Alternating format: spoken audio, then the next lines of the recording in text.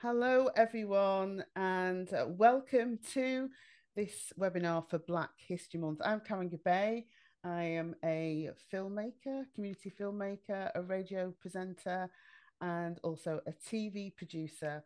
And today we are going to be looking at the history of the cooperative movement through the lens of Black history. So, thank you for joining us. Uh, we're going to discuss the perceptions of the cooperative movement today, globally and also here in the UK. And we're going to encourage uh, you to uh, volunteer your thoughts when you can. You can post your questions and thoughts in the Q&A box at the bottom of your screen. And we're also going to encourage the panelists to share their thoughts on this as well. So I am going to introduce uh, you to our panelists. And the panelists that we have today who are going to give their thoughts and insights are Liz McIvor, social historian and trust manager at the Cooperative Heritage Trust. Hi, Liz. Hi, Karen. Nice to be here.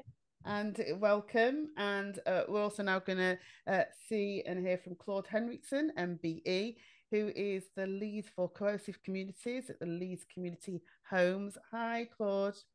Hey, how are you doing? Good afternoon. Good afternoon to everybody. Uh, welcome. And uh, we've got Rose Marley, who is the CEO of Cooperatives UK. Good afternoon. Hi, Rose. And Christopher Oliver, who's the Policy and Research Officer of the Ubele Initiative. Good afternoon, everybody. Uh, welcome. Uh, so, welcome uh, to today's conversation. Uh, just going to let you know that uh, a few things, few housekeeping rules. Um, the uh, closed captions are available. Uh, just click CC on the bottom of your screen. there's an option to view the full transcript with subtitles as well, and you'll be able to see the scrolling subtitles if you want to do that. And, and as I mentioned, there's an opportunity to put questions to our panel later on. So do put your questions in the Q&A box and later on we'll get through them as best that we can. But uh, we're going to speak to each of the panelists and just hear their thoughts. So first I'm going to start with you, Liz. Uh, Liz, can I just uh, ask you a little bit about your role at the Co-op Heritage Trust?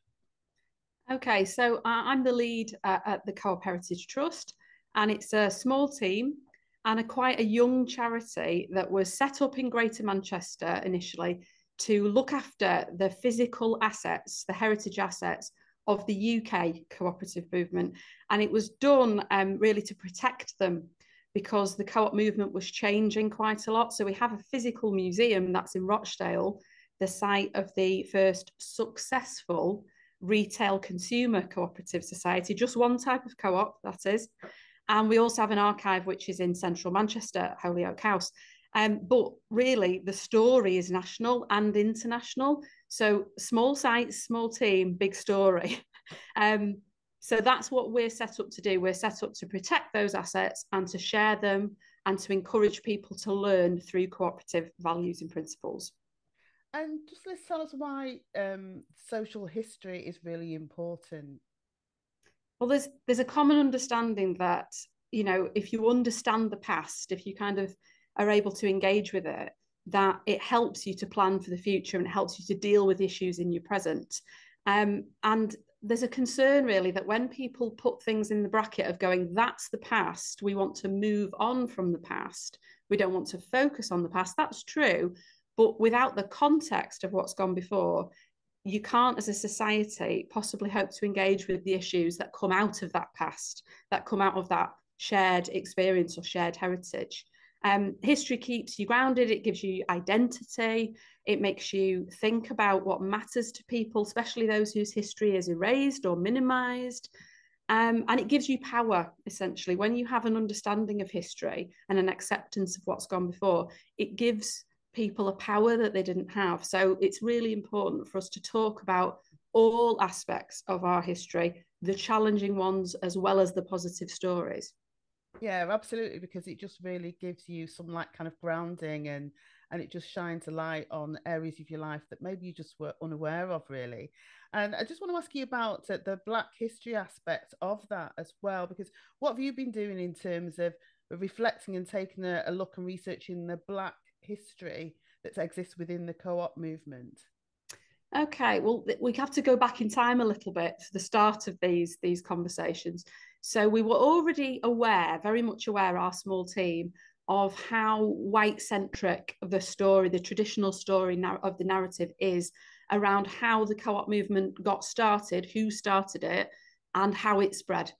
Um, so we wanted to make some changes to that because it, it, was a very polarized view, really.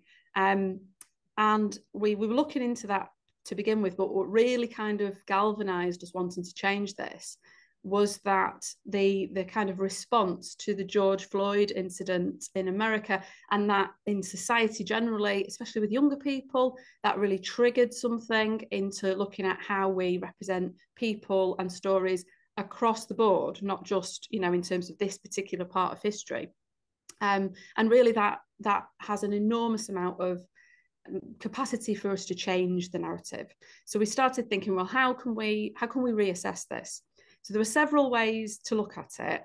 Um, firstly, it looks on the face of it when you see an image when you walk into a building, it looks very white and it looks very male, and we're aware of that. And that's because our history, if you like, as a movement is so complicated and and in a way diverse and difficult to get to grips with that most people only get the real surface level part of the mm. story. So what they come away with is 28 white working class men in Rochdale form a cooperative, and then everyone copies it. It's exactly the same, and that means that that that focus, that sort of visual idea, gets stuck. Um, so for a lot of people, it's a white movement, and we know that's not true. It's absolutely not the case, and particularly internationally, lots of countries around the world have taken up cooperative values and principles and that is extremely ethnically diverse now and has been for you know a number of years. But what we can't do is find people very easily in terms of diversity. It's very difficult to find women it's difficult to find people of color or people from different ethnic backgrounds in the old history it's not impossible it's just hard um, and one of the reasons it's hard is because this is a working class history and working class people rarely write their own story. Most of the time, that story is written by other people who don't experience that, you know, who are literate, who have power, who have influence. And when that story gets written by other people, some of that gets lost. So we know that women were involved in the early movement. We know people of colour were involved in it. It's just really difficult to find them and pull them out and show visuals or evidence that that was the case. But but we know they were there. Um, and one of the things we wanted to do was to look for people in the in the history in the, the narrative and try to find the links and try to interpret those links a little bit better in the way we tell the story and in the things people see Uh, but it does mean facing quite challenging things and on the first glance the cooperative movement's history doesn't look as challenging perhaps as some other kind of movements or commercial organizations, but it doesn't mean it's squeaky clean and perfect either. So we know that cooperatives as societies traded in problematic goods from empire contexts, and that despite their kind of campaigns for equality and equity, we know that they lived in a society where that wasn't the norm or the case. And that even when cooperatives campaigned for race rights and things like that and equal pay, that it was still not an ideal and that there were people still who had opinions that now we would find racist or prejudiced or biased. And it's about trying to sort of own that and say, we don't want to pretend the cooperative movement was always perfect. We want to be honest and say there were problems with it, but there were good things as well. So it's about a balanced picture. Yeah, I mean, lots of things that you said there, which I know can, will be picked upon later. But I think just one thing as well to say is that uh, some of that history is like hiding in plain sight, isn't it? And it's also about now we've got that awareness about maybe kind of bringing that into into the story and, and into the reflection and asking people to to share that so that story can be included. That's just a thought of mine there. Um, That's right. Uh, I, I was going to say one one of the things that really is striking when you're looking for people, people's stories within a movement, is that the movement doesn't focus on the individual, it focuses on the whole, and the collective. So that's what makes it tricky, it makes it challenging. Right. And people think their story isn't special or important because they weren't the CEO of an organization or they weren't or they didn't achieve something by themselves. That's not true because all of those individuals and their experiences build the collective. So actually, you think your story is not special or important or unique. It is, and we want to hear it. Uh, fantastic. Thanks for that. Now I'm going to move on to Claude. Uh, because Claude, you've got a disparate, different aspect of how you've been involved in the cooperative movement, and uh, I know there's just lots of interesting elements there. So, just want to tell us a little bit about your role, particularly maybe as well with Leeds Community Homes as well. Yeah, um, thank you, thank you for the invite to this um, Black History Month event for the cooperatives. Yeah, um, what I'd like to kick off by saying is that, um, in principle, my learning has been that whenever a group of people come together uh, around a common issue or a common situation, they're actually a cooperative. You know, we've got lots of different organizations, but actually, whether it's community land trust, community-led housing, you know, they're all kind of cooperatives. So, Partner. yeah, yeah. So, so, so my, my my learning about cooperatives, in principle, being of that first generation of kids that was born, children that was born of the Windrush generation. You know, my mother come in the late 50s, I was born in the 60s. Um, we've had to kind of observe cooperation, people working together. Because at first, so in Leeds, they set up the um, United Caribbean Association, which was different people coming from different Caribbean, even though there was African Caribbean, they were coming from different islands, Barbados, Trinidad, um, St. Kitts and Nevis, Jamaica, you know, so so what they created was the United Caribbean Association. So in principle, that's a cooperative because it's a group of different people from different islands coming together. And what they then, because obviously in the 60s, we was su suffering under the no dogs, no Irish, no blacks. So they, our, our, black parents had to come together around issues like housing, employment, the children's education, their own entertainment, dealing with the police, um, health churches. and well-being. Huh? Churches as well. Yep, churches. I was just coming to that. You just beat me to it. Youth engagement. So all of these things were how we had to live within the system. So we were just naturally born in what is called clusters now, cooperatives.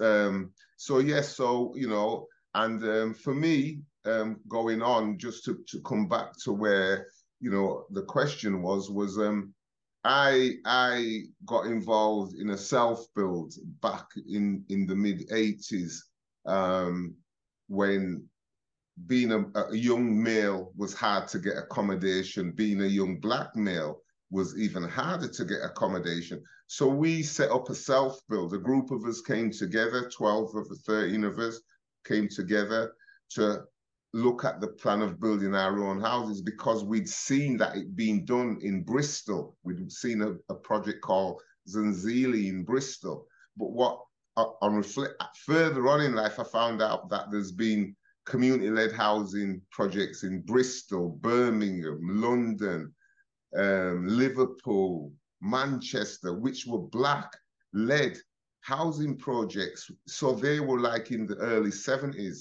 So I, I, am I'm standing on the, I, I realized I was standing on the shoulders of others that had gone before me. So at the end of the day, we took on building our own houses. We built them, um, 12 houses, 92,000 bricks, 52,000 blocks, um, and built a street of houses. So again, as a cooperative uh, and leading the way, I mean, I I've gone on and I've done other things, and now I've, I became a cohesive communities worker with um, Leeds Community Homes, um, which gave me a, a, chance to look at um, why there weren't more black people being involved in construction and building their own houses and taking control. So um, I, I became their EDI advisor um, um, getting more Black people to engage um, with community-led housing, which has gone on now. I'm now um, the EDI trainer with the 4 million homes and the cooperative CCH housing, um, teaching residents about being more involved, not just Black and ethnic minorities, but all residents about being more involved. So becoming cooperative in the areas where they live, work together to kind of deal with landlords. So that's something that I'm on with as we speak.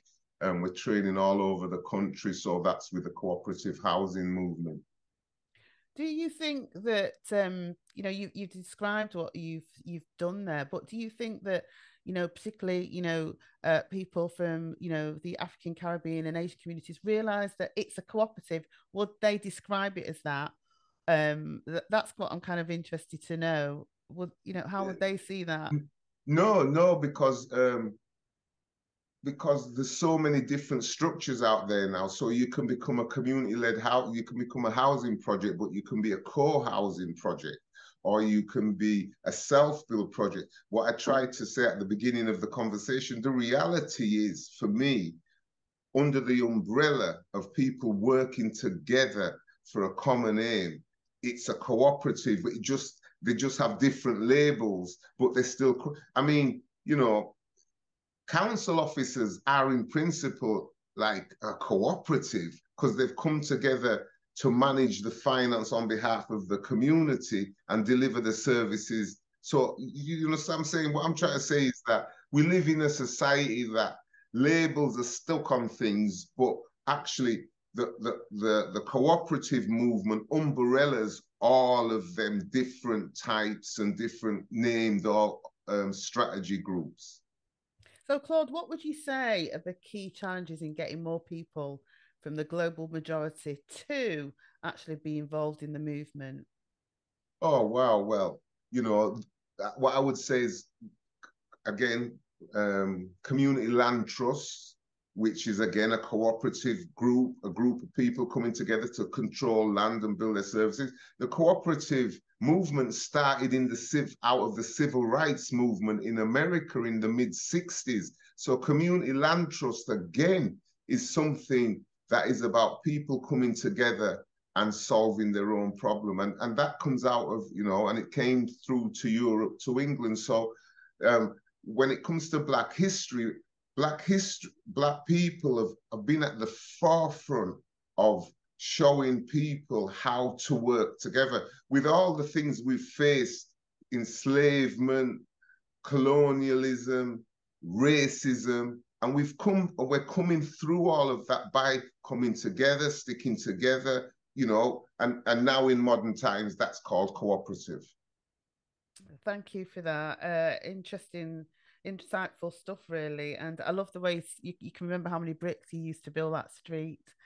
Yeah, yeah, hey, 92,000 bricks, 52,000 blocks. I mean, just to mention, as I've seen them come up there just now, Chaco, Chaco is a co-housing project that just happened in Chapeltown, just finished. The, the, the, residents have moved in. It's a global community, even though it's, you know, they're, they're people from all over the world, or they descend, they're descended from people that are all over the world. We've got um, Showdown, we've got Irish people, we've got Asian people, we've got Caribbean people, we've got African people, We've got English people. We've got some Scottish people in there. So the global majority, the you know, as at, in in one sense, is in there as well with the natural majority. Thank you. Thanks. Now on to Rose. Uh, Rose, uh, can you tell us about a little bit about your background and your role as CEO of Cooperatives UK? Hi, Karen. Um, yeah, my background is uh, quite eclectic and uh, diverse, really. Um, yeah, I came out of uh, wonderfully came out of being born uh, and lucky enough to grow up as a teenager through the Madchester period in in uh, Manchester. Um, so um, spent quite a lot of my time as a youngster trying to get backstage, and then that sort of became my career for the first uh, 10 years of my life. So I got into music management and all that type of stuff. Um, and actually, I'd say from my perspective, it was music that brought diversity into my life because I'm from the, the north of Manchester, which you know, growing up was pretty much a, a, a white working class ghetto, to be entirely honest. So um, it was really that music that brought diversity into my life and, you know, some level of um, empathy around the challenges. And when I, and uh, without going into my career history, I had never sort of had this vision to kind of be CEO of, of Cooperatives UK and such a, um, you know important role as well i believe for for you know for for for the greater good for fairer society for greater manchester. And you know i've always been a social enterprise um a social entrepreneur and social reformer. And so I, when i was originally approached i've only been doing this role for just over two years. And when I was originally approached by a recruitment agency to look at look at the role, I wasn't looking to move roles. I wasn't at all interested. And I'll be entirely honest with you because this particular recruiter was hounding me. Um, I took his call uh, after the fifth uh, time, uh, and he did know me. Um, and he'd been leaving messages because he always used to ring me about various things that involved, uh, you know, uh, sort of like um, Catholic related kind of positions. And he was ringing me saying it's not even religious. It's not, although Liz will slightly dispute that.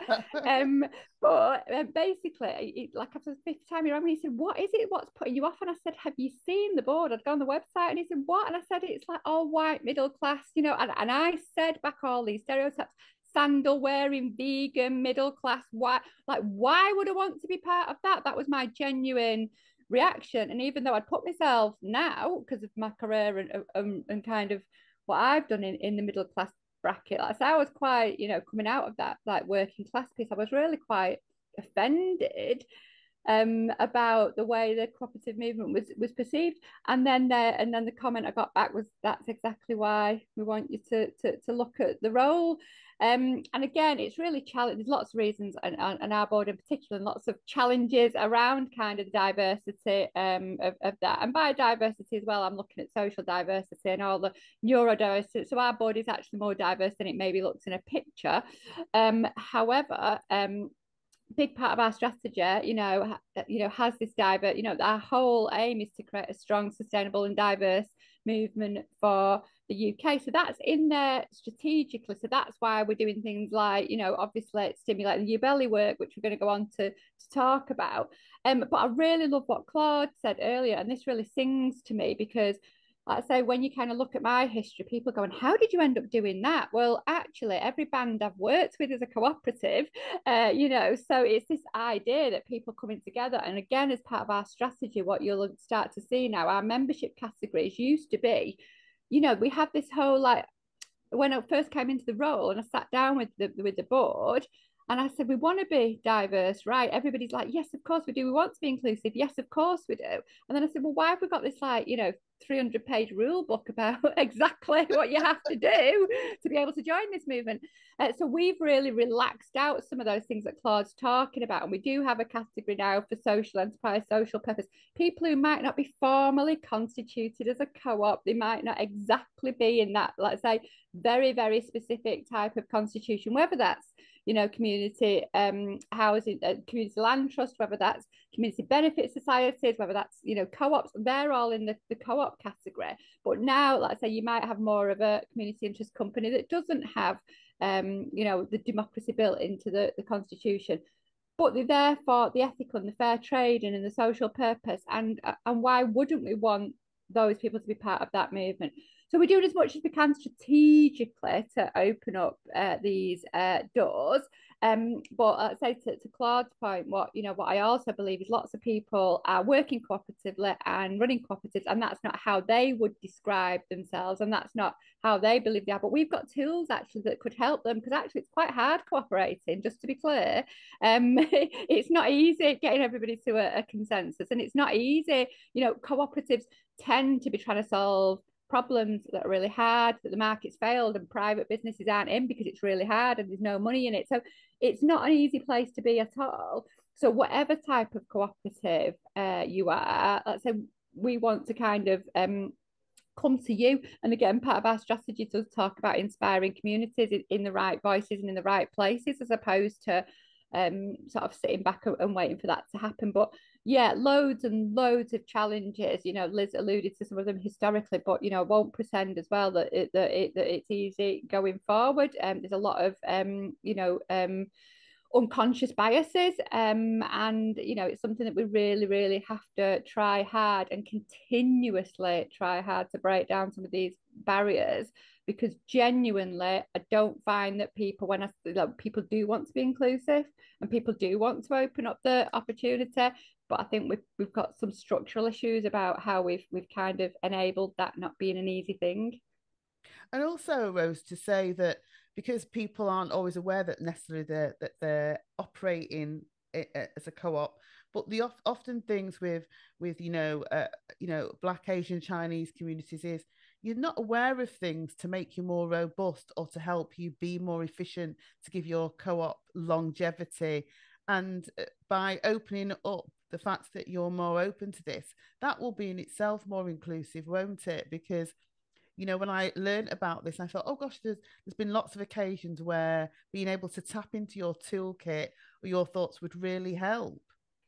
Yeah, completely. I say there's there's a there's a long way to go. I think we've made you know some some uh, good steps uh, forward, but the, but there is a long way to go. And actually, you know, our arms are wide open for people who want to to to. We've got ideas about how we could do it better, um, because we've got lots to learn. What would you say the difference is between how cooperatives are perceived, perceived here in the UK and abroad and overseas? What the differences?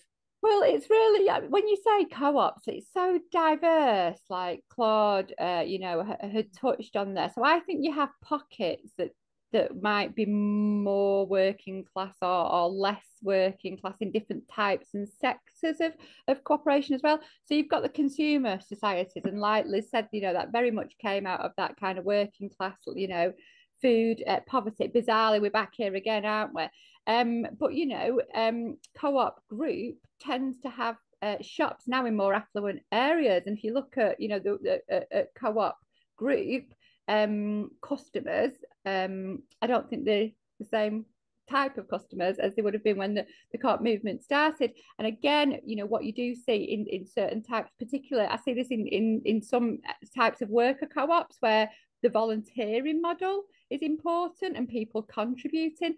Well, you know, volunteering's a privilege, you know, being able to work for no money um, already rules out a whole bunch of uh, people. Uh, so you get older people because they've got more time, maybe if they're retired, but also you get people that have got, you know, a kind of cushion in their income stream who are who are able to volunteer. So I do think there's, I don't think it's easy easy to say across the board. Um, whereas, like I say, in some of the um, more creative and cultural co-ops, you do get a lot more diversity. But that's the same across all our sectors in the UK internationally, as Liz said, you know, again, huge privilege and opportunity that I have to lead this movement here in the UK. And, you know, I do get to go to places uh, like I went to Brazil uh, last year and, um, you know, the um, uh, Acai Berry, uh, you know, uh, collecting, mm. you know, I was the only white person there, you know, so it is really different in different uh, territories across the world. I don't think there's a kind of I don't think you can make the generalisation, but I'd say in the UK, from what I've seen more than anywhere else, it does present as as as, as white and middle class. Uh, if you have to describe it, and that's something, let's say, we've got to work hard to change those perceptions. And what do you think? I mean, uh, you've you've you know you have covered it, but just to say though, what do you think is missing to make that connection? If you can kind of like capture that, what is it that you know? Are people intimidated by it? You touched on the fact that volunteering is you know is is a privilege because you know it costs time and money you might not have but you know what other things are missing that would like draw people even who are watching this to go do you know what? I can actually contribute and make a change yeah, I think there's so many, let's say, so many barriers the way we communicate. I think our language is really confusing. There's just so many things. Uh, when we say we're not diverse, you know, we're really old as well as a movement. You know, bringing young people is a is a is a real uh, challenge. So there's there's so many things that like we need to look at as a as a movement to be able to um, address and you know achieve some of those things um, so yeah, from my perspective, I think we've got like a, an understanding of, of quite a lot of uh, the issues. Uh, but one of the things that um, it, it, it, does make me smile, um, but it is actually a challenge. Like when we do get people, particularly if they're prepared, if they're people that are um, you know, uh, from a diverse background, and that can be young people, like I say as well.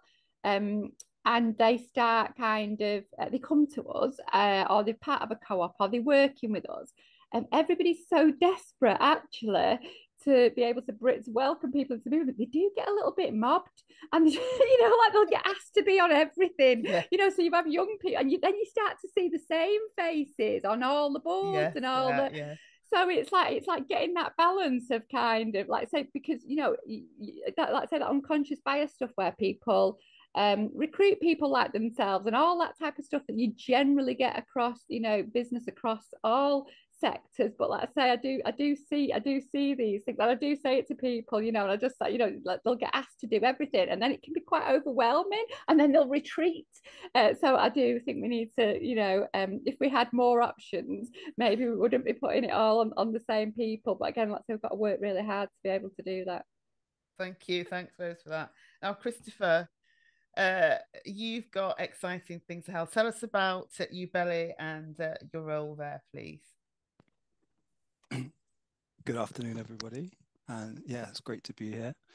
Um, in Black History Month as well. Um, and I think Black History Month is very important to to engage in Black study, um, and which is which is a study of the history of the modern world in a way, um, and and the development of um, both um, the Black Atlantic and the Caribbean and the Americas and um, out of that, but also Britain. And I think, and how, yeah, race organizes that development. Um, and I think um, Ubele is is an organization which um, I've recently joined as a as a policy and research officer um, and Ubele um, is taken from the Swahili word, um, word meaning the future. And and yeah, Ubele like follows a tradition um, of of analyzing the sort of social, economic, political structures um, of within Britain that sort of organizes life and communities, um, and but particularly in relation to um, community assets and and thinking about um, African diasporic, but also global majority community assets in Britain and how they are um, operating um, within that environment that I described um, within the sort of, you know, the the social, economic, political structures that exist within Britain, um, and I think, um, th- yeah, this conversation is really interesting um, from what people have said so far, um, and I think one a backdrop perhaps to um, the conversation and and perhaps and, and reports that I've been reading um, to, you know, in the, I guess, grounding myself in this role at Ubele is, is, a, is a report that um, Ubele did um, in 2015 called A Place to Call Home. And, and, it, and it reviewed, and Ubele worked with um, organizations and people across the country um, including Claude, um, and and over the last year, I think, co- been in conversation with Cooperatives UK, um, and and yeah, this this report called "A Place to Call Home" um, reviewed the status of 150 um, African diasporic organizations, um, community assets in the UK um, across the country and there's there's there's many insights I invite everyone to to read the report. There's soon to be a revised edition of the report in the coming weeks. Um, but one of the takeaways was that 54% of those African diasporic community assets, um, the, the buildings had insecure futures. Um, in like the and and therefore and there there are various reasons um, around the sort of you know social economic con conditions in which those community assets are positioned um, the, like the the various pressures therefore on the governance um, of, of those community assets, the sort of changing demographics, um, and um, the sort of intergenerational, um, well, the the difficulty in succession planning um, um, of those assets, and and also the sort of changing sort of nature of the economy as well. Um, we now live in a sort of digital economy, and and so therefore, to what extent, you know, are these buildings and infrastructures attuned to um, this sort of em emergent um, digital economy, um, and therefore, you know, the services that these buildings and and organizations offer, you know, to what extent can they plug in to that that emerging digital economy? Um, and and so yeah, so Ubele um, have been in conversation with, as I said, with Cooperatives UK um, about think, thinking about um, community share models as and in relation to sort of cooperatives and community benefit societies um, as a as a model um, to think about this, the ownership of assets, um, to think about you know the social benefit of such a model um, in terms of asset-based development, um, and and and so we've we're at, we're at the formative stages of of um, imagining and designing a research method to first um, yeah review map um, the, the existence of um, black and global majority cooperatives in in Britain. Um, and but also as as has already been stated you know, to think about because because I think one of the tensions that I think the the panelists have identified is this tension between the legal definition of a co-op um, and a community benefit society or a cooperative, um, and then the perhaps the the black and global majority cultural forms which exist and um, operate um, such as the partner um, to produce, um, you know, um, the ability to acquire housing, for example, or um, but also to arrange um, finances and and and raise yeah raise finances um, for various sort of economic um, social activities. Um, I was speaking to a colleague yesterday who's Kashmiri, and she spoke of um, the committee, um, which is actually the word um, in in her community for a partner. So a committee um, is is very very much yeah uh, for people who don't know, should we say though? For people, I mean, we know what oh, partner is, but oh, not everyone on. does know what partner is. yeah. so, go on. So it's it's basically, isn't it? It's a group of people coming together in the community where, you know, so say twenty people join, and each of those people have to put money aside once a week or once a month, and then it rotates in terms of who gets there, then pay out of the total kind of like sum of money. And it allows people to go on holiday, to buy school uniforms, to buy a house. And and in the 50s and 60s, I mean it's it's continued on the 50s and 60s. That's what people use the partner or the committee in order to buy their houses, buy their homes.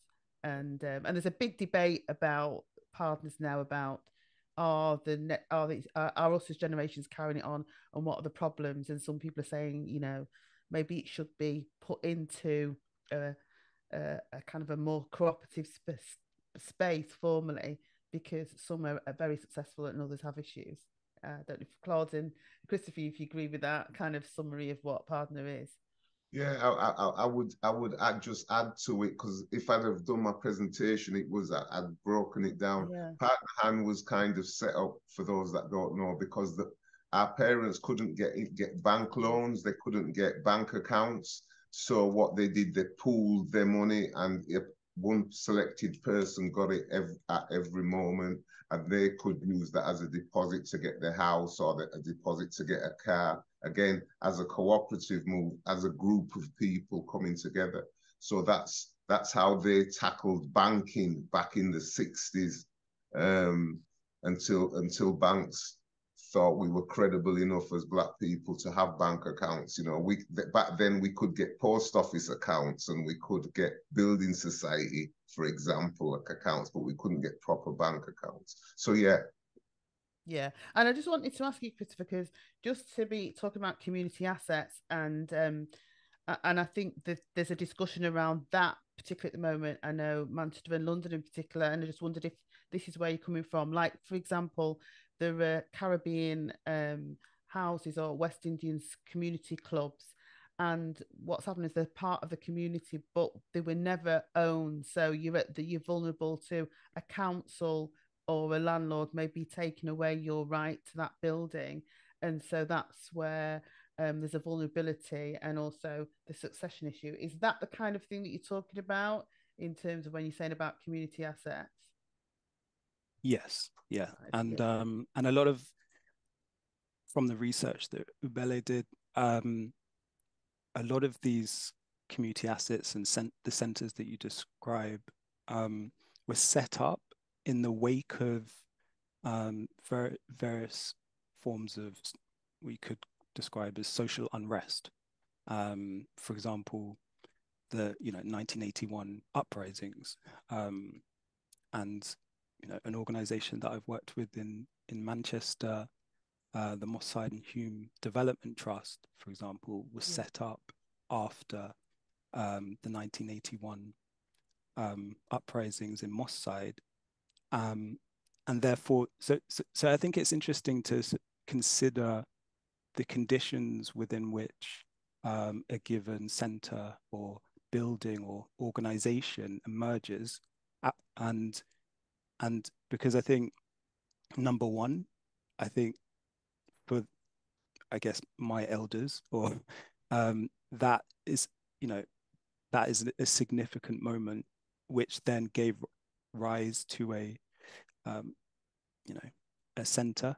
Um, and then, but then, you know, over time, um, those that sort of understand the sort of history and um, the political, economic, social conditions in which that arose, um, they they get older, and perhaps, and maybe this is a indication or a, a nod to you know ed, the, the education of of my generation and and or the lack thereof of you know these histories and and therefore perhaps not necessarily understanding the significance of such centers um, for um, certain forms of community development. I know that's the case with me, and I've I've learned a huge amount from um, people I've elders that I've worked with um, in London and particularly Manchester. Um, so, so I think education is really important for, um, yeah, understanding these histories, but then also therefore designing um, appropriate models for our contemporary sort of situation. Um, and and yeah, to, to what extent is the cooperative model, or a, you know, how can it serve us in, the, in in this instance in these instances, and also particularly in relation to those 150 organizations that I mentioned that Ubele uh, reviewed, you know, how many of them could benefit from um, these models. Um, so yeah.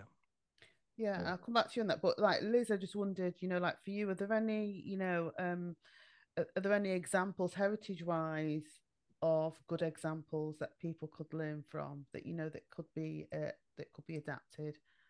And, and and and and even maybe you know we're talking about Black History Month. Are there any examples from that from from that particular aspect and that lens as well of, of history that that could assist us here?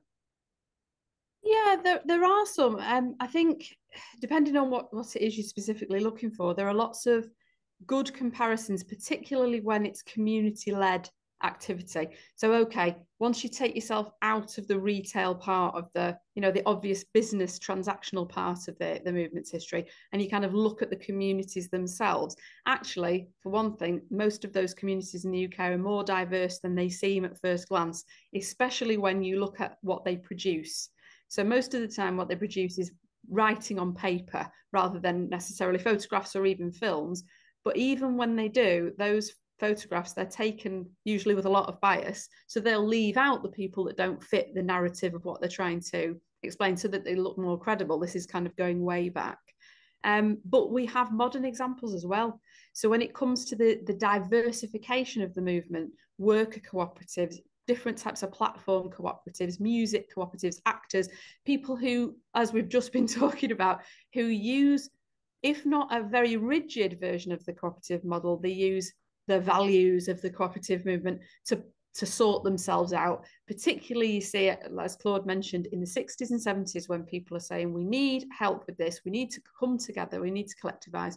There are examples of it. But what I find really interesting is that sometimes you'll see that this group exists and they're doing some work. And once they and their immediate sort of membership has established themselves and they've given themselves better education opportunities and they've moved on, they've bought houses, they've gotten into college, they've got better jobs. That then folds.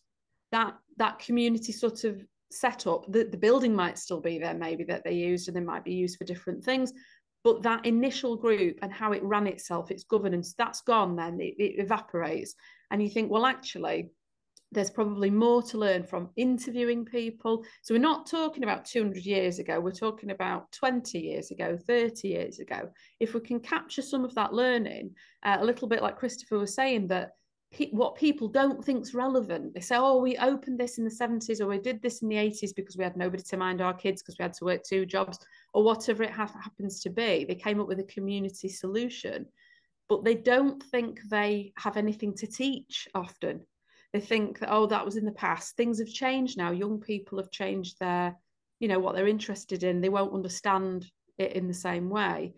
But we need that evidence, don't we? So where we might be able to find examples where we've said, oh, there's an, an Indian women's cooperative that are making these these goods for sale because they can't get into a market, so they have to do it for themselves. There's an example. What about the more modern examples? We're not going as far back. We're going back to maybe parents or grandparents' generations. And actually, that's the emotional connection for a lot of younger people. Oh, my gran was involved in something. You know, it doesn't have to still exist for it to have been successful. Absolutely. So I, mean, think... I mean, part of my work is is doing that. And you are right. Once you start asking people, they do share really good examples of good practice, and they don't. But it's not really documented. Um, and you know, examples are n- nurses, um, dance groups, Irish dance groups, black dance groups. You know, Indian dance groups. Amazing examples of of how you know train generations of people to be very successful but it's kind of taken for granted as well, isn't it? And I think just to say, uh, uh, you know, maybe as well, it's time for people to, you know, can put questions in the Q and A box, but even to share those examples, I think, because we're like prodding people's consciences, you know, and sometimes, you know, parents, grandparents tell stories, and you know, you kind of put it to one side until it's ready for you to do it, and then really it's about tapping into that in the way that you know Claude said that you know he's done, you know, and you know Rose will even have that history, you know, in terms of music. There'll be lots of examples that might have taken for granted, I think. And Rose, just wanted to ask you about a social investment in community shares. You know, is there a way to that you're looking at to make that more diverse and to make people more aware of it? Yeah, uh, we need to make people more aware of community shares uh, generally, actually. But in terms of, like we're saying, like from a strategic point of view, we're doing as as much as we can. So we have signed up to the social investment um, manifesto, and we have done some work on Sharia law and community shares. And obviously, really excited to see uh, what comes out of the work with uh, Ubele. We've also uh, we have um, a, um, a, a, booster fund and now an access to booster fund. So it means when you raise a community shares, and sorry, like I need to raise awareness just in case anybody viewing isn't aware, community shares are like crowdfunding, um, but you get to own a piece of the co-op, so you get that um, e- uh, equity piece in there as well. And it's only available, it's through the Financial Conduct Authority, and here at Cooperatives UK we operate the community shares unit, which is the, the soft regulation of um, that market. And it needs to be soft regulation. It's interesting what you said about partner because it, it's getting the balance, isn't it? It's money, it needs regulating, but also you don't want to kind of um, stranglehold the thing that's doing the good bit. So it, it, it really is, um, you know, quite challenging. But what we've been doing um, in that space in particular in our access to booster when we went so say for example uh, I'll give the example of an easy one: a football club um, Wythenshawe FC. Uh, not far from here, um, wanted to become a fan-led football club and they wanted to sort out the drainage and put in a new stand. So they put out a community shares offer and the fans uh, raised £50,000 and then Cooperatives UK through the Booster Fund matched that for another £50,000. On our access to Booster Fund, uh, we've got really specific targets to try and get into, you know, again, let's say more diverse communities.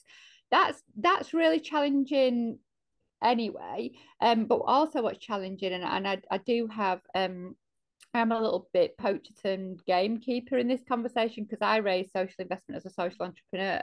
And me, as now a middle class white woman, but coming from that working class heritage, um, I find it really difficult to be able to speak in the language of investors. Um, and there's a there's a huge language barrier there um, you know, they kind of, you know, nobody wakes up and says, I want to start a co-op. You know, people um, actually tend to kind of just find themselves cooperating or they're actually trying to solve a problem. You know, like say the local pub or, you know, my community centre is about to be taken off us. People have a problem and they end up in actual fact running a business and it might be a cooperative or other form of social enterprise. And suddenly, not only they're they having to get all these skills of being able to run a business, then when they need some pump priming and investment into that, you know, the, the way investors talk to them is like as though they've been to Harvard for, you know, 10 years. There's, there's a real mismatch in, in social investment generally on this. So the big piece to unpick there, but let's say we've kind of done some very specific stimulation around those markets, but but we're aware just putting it in a manifesto or just saying we're going to do it, you know, it doesn't magically happen. There's a lot of hard work and a lot of hard graft to kind of um, you know, get to that. So again, I think we, we're just on the beginning of that journey, but I'm expecting us to find that that'll need a lot more support. So, you know, again, it's this thing about what you were asking about the white and the middle class. You know, we've got a 65% increase in community pubs, actually. We've just produced our cooperative and mutual uh, report for 2023. Um, and that's one of the big findings that came out of it. Well, actually, lots of that is in rural white communities.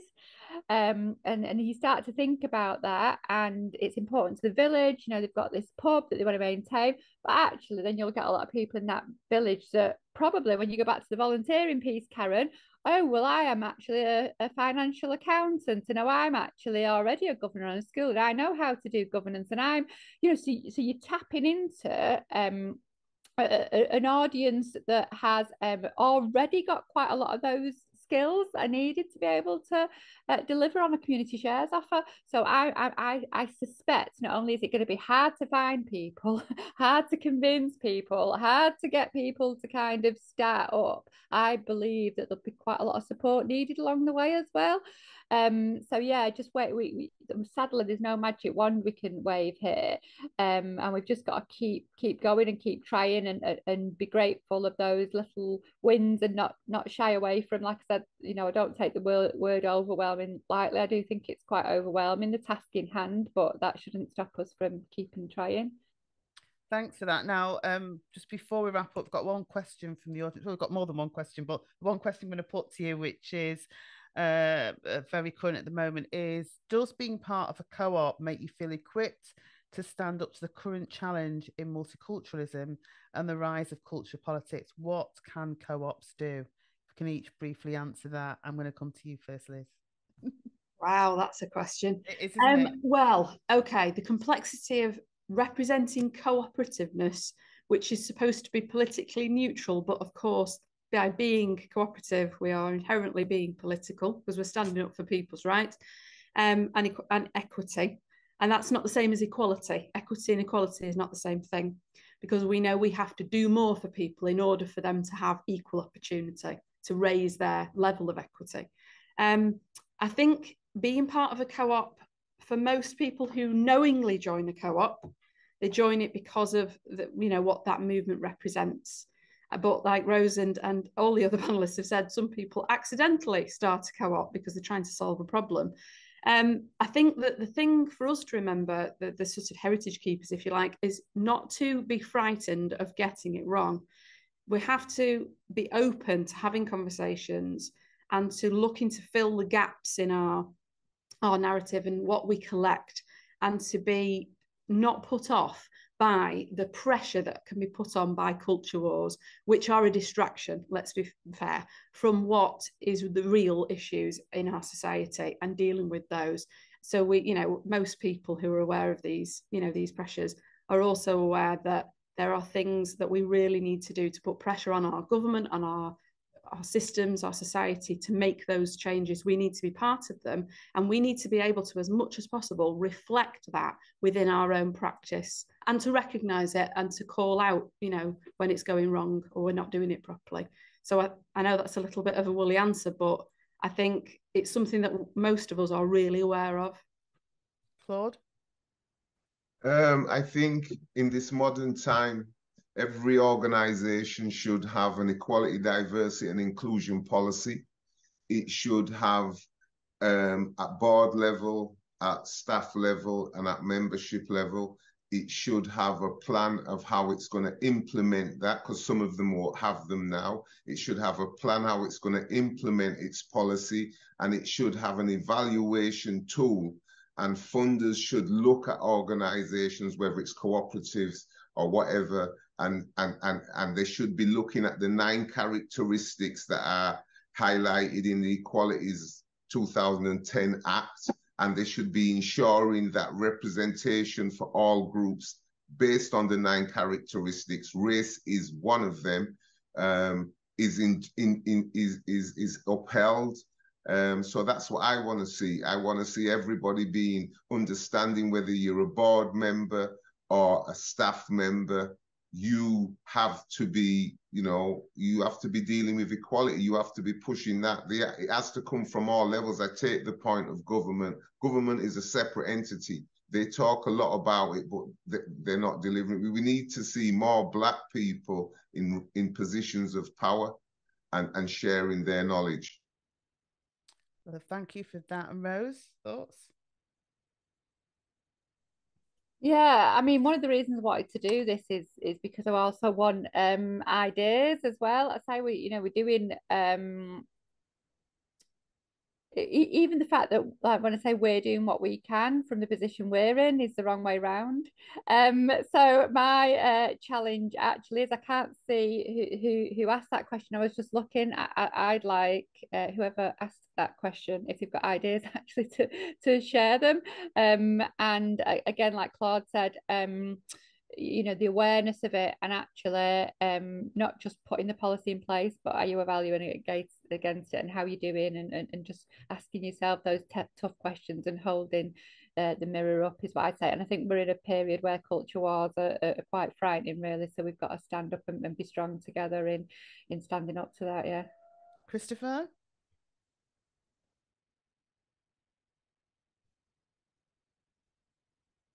Sorry about that.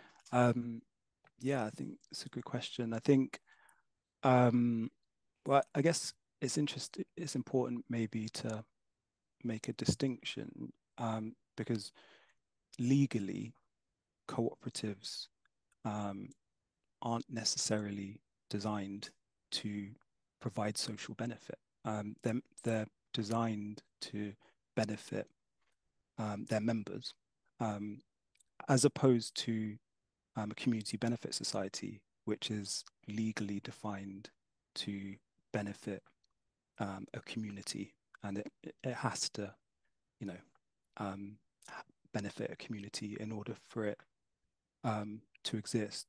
But that's not to say that cooperatives shouldn't um, benefit a community and and and to be designed to meet a sort of social need. Um, for example, Ubele um, have just set up a housing cooperative um, called Gida Housing Cooperative. Um, and I'll post a link in the chat. Um, hopefully everyone can see it, including the audience. Yes, um, if you can, because we've got we've got a wrap. So if you can do okay. that, yeah. And yeah, so that I was just going to say that, but then also that's that question, um, or more broadly, to what extent can you know cooperatives or community benefit societies support black and glo global majority communities in, in, in, in terms of asset-based development to attend to various sort of social needs is a question that um, we're we're exploring with Cooperatives UK. So as Rose said, we'd be very interested, and it's an open invite to have further discussions like that with with people that are interested. Thank you, thank you so much. I mean, we know this can, conversation could continue. Hopefully, this is part one because it's just fascinating. Uh, so much to learn and experience from all of you on this call. And we've had somebody in the chat saying that uh, the Cooperative Heritage Trust Museum is a great place to visit. So if you look that up, um, uh, I'm sure as well, uh, Liz will welcome you. So just to say thank you for joining us and for witnessing this. Thank you to Liz McIvor who is the social historian, trust manager of the Cooperative Heritage Trust. Thank, you to Aaron. Rose. Yep, thank you. Thank you to Rose, Rose Marley, CEO of Cooperatives UK, and to Claude Hendrickson, uh, MBE, uh, leads for cohesive communities at Leeds Community Homes. A bit of a mouthful there. Thank you, Claude. and, um, and finally to Christopher Oliver, Policy and Research Officer for Ubele Initiative. And we look forward to seeing what unfolds with you there, Christopher, and all the work that you're doing. Thank you, everyone, for joining us. Um, as we said, a recording will be available for you to watch. Thank you. Thank you. Thank you Thank very you. much, guys. Take care. Thank you. Thank you. Have a good Black History Month. Exactly. Yeah.